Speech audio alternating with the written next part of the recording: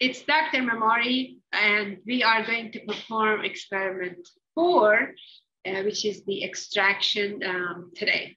Uh, the type of extraction is an acid-base extraction, and the chemicals that we are going to deal with today is a mixture of organic acid and organic neutral compounds. We are going to um, dissolve both compounds or the mixture in uh, ether, which is a good solvent that dissolves all um, acids and or most of the organic compounds because um, that's the, the, ether is a polar um, and is a good organic solvent. It would dissolve in ether first, then we are using sodium hydroxide as the extracting solvent. Our extracting solvent, sodium hydroxide, would react with the organic acid and brings the acid into the aqueous layer in a separatory funnel. And we drain that aqueous layer, we collect, we, we separate. I will explain more as I'm performing the experiment. First, we are going to measure about 0.5 grams of um, organic acid, which I'm using the benzoic acid for that. Place the weighing paper and the hair, because I don't need the mass of the weighing paper. I would add enough, um, enough of sample to make it about 0.5, about 0.5 of the sample.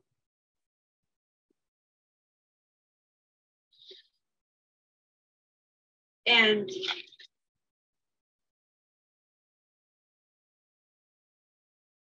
Point five of the sample, it's slight, a little bit more, that's okay. Uh, as long as I record that mass exactly to the 0.01 uh, number, which for you, I'm going to post this picture image of it uh, for you to record the exact number of the gram of benzoic acid.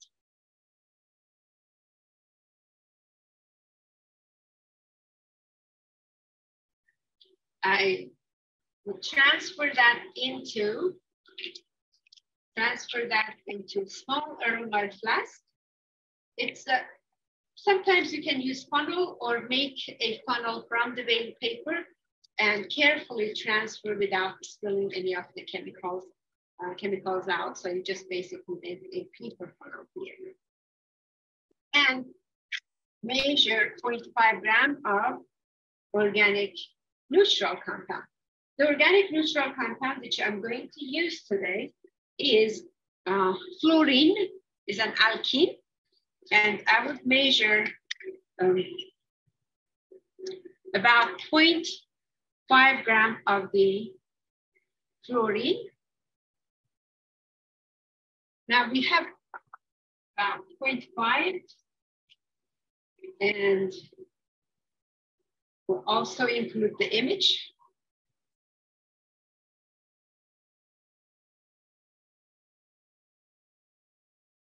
And I will transfer that into the same Erlenmeyer flask that I have my organic acid. So I have mixture of organic acid and organic neutral compound. I would dissolve this first using ether.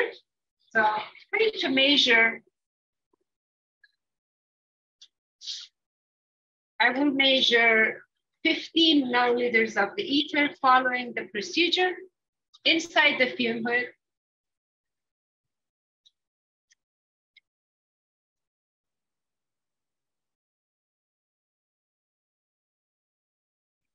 Using a graduate cylinder.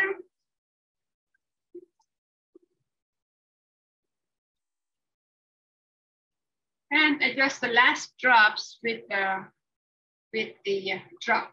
With the 15 milliliters of the ether, I try to dissolve the sample in ether and transfer to a um, separatory uh, funnel. So you have to also learn in this experiment how to use the separatory uh, funnel I'm going to cover this with the dissolve and cover it because I don't want the ether to evaporate while I am trying to explain you how to use the separatory funnel. You want to make sure the separatory funnel, it functions properly. That means the stopcock does not leak.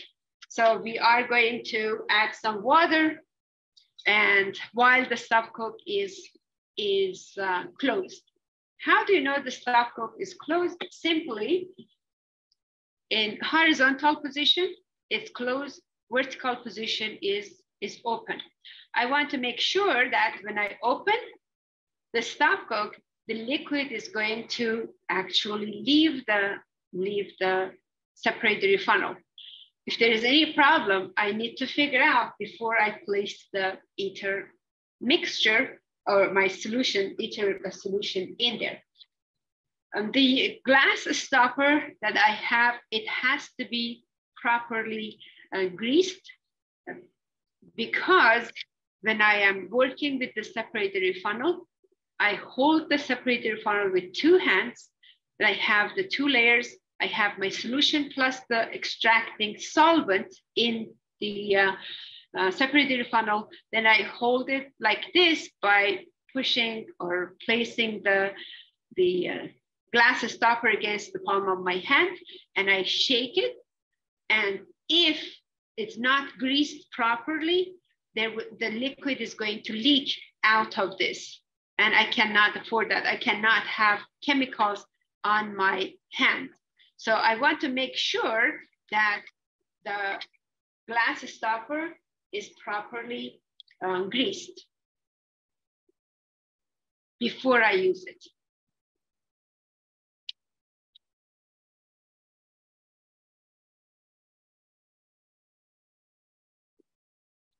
Okay. Now, making sure, uh, making sure that the stopcock is closed, I would transfer the um, solution of the ether with the chemical into the separatory funnel.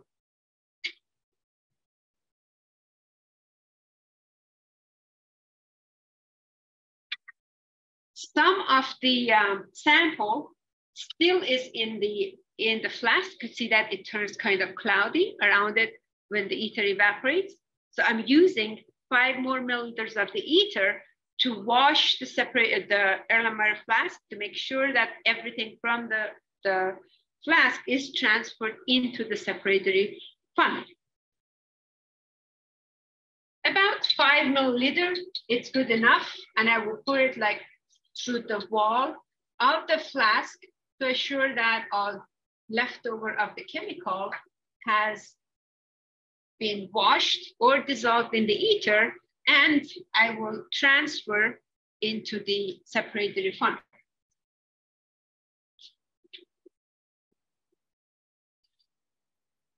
Now, can close this using um, grease glass stopper.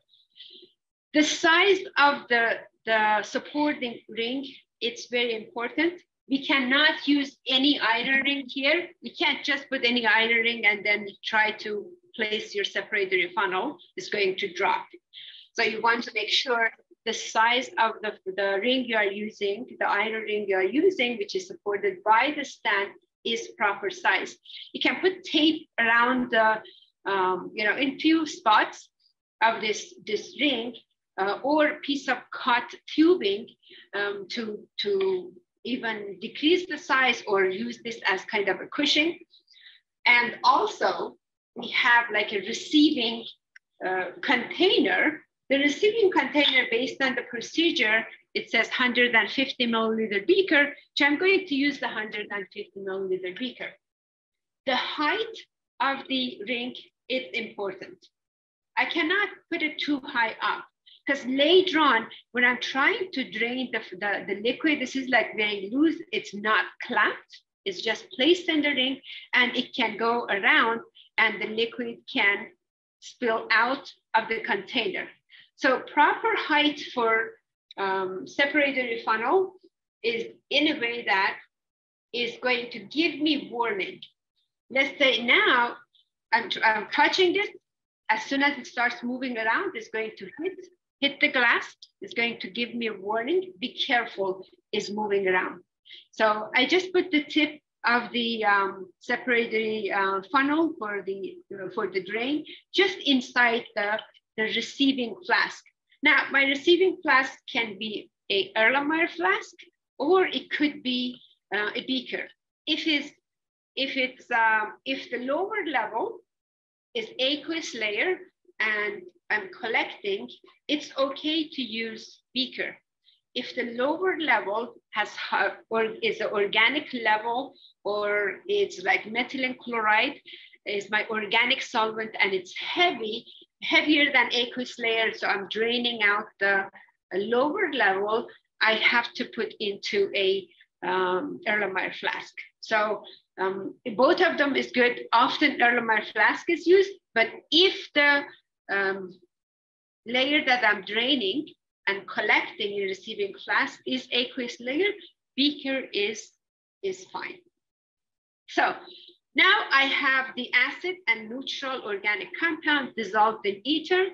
It's not extracted yet. I'm going to add the uh, sodium hydroxide, the 10 milliliter of the sodium hydroxide using the procedure in the lab manual for the second layer to form, basically sodium hydroxide would react with the benzoic acid and changes to sodium benzoate, which is the soluble salt of the organic acid and brings it to the aqueous layer. Going to quickly measure the, the sodium hydroxide and bring it to add to the separatory funnel. Okay, here is the sodium hydroxide solution. I'm going to add 10 milliliter of the solution following the procedure and transfer into the, I'm going to take the 10 milliliter of sodium hydroxide and transfer into the uh, separatory funnel. When you work in group of two, one person needs to be uh, worry about the chemicals you need for the next step and one person would do the experiment. So you always have the chemical you need for the next step at your, um, at your um, station.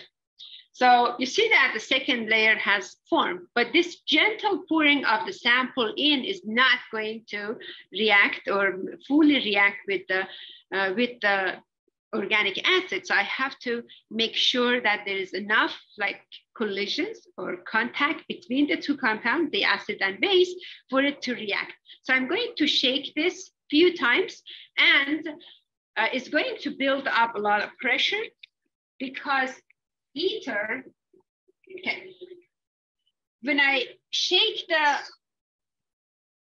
separated funnel, um, even though there is no reaction here that would produce like carbon dioxide gas, the ether, it can evaporate and it's going to build up pressure. So as you shake, you must vent the uh, separatory funnel. This action is called venting. That means releasing the pressure from the, uh, from the separatory funnel. By holding the separatory funnel, inside the fume hood because you don't want that vapor to go to your face or someone else's face and pointing it toward the fume hood, open the stopcock and close before you put it right side up. Now, after like three times, shaking, venting, I can place it back on the iron ring and let the two layers separate completely. You might see it already, the two layers, but we are going to leave it under to make sure that those two layers are separated completely. When the separatory funnel is resting, you must remove the glass stopper. This is going to allow the separation to take place faster that's one reason. The second reason, if the stopcock is closed and you try to open the, uh, if the glass stopper is on and you try to open the, the stopcock, it would create vacuum and the liquid does not drain off easily. So for both reasons, we are going to remove the glass stopper. When the two layers form, like clean paper, when the two layers form, just going to bring it like a close up for you to see the two, uh, two layers. What would make it easier for you to see? So the two layer has formed. Both of them are colorless, but if by careful looking, observing this, you could see that two, a two layer has formed. And to separate the lower level, just carefully, you're going to open the, carefully, you're going to open the stop hook and let the aqueous layer to be drained off without bringing any of the organic layers. So as soon as you see the organic layers getting close, you have to stop draining. Now, extraction, one extraction is not going to be effective for separation.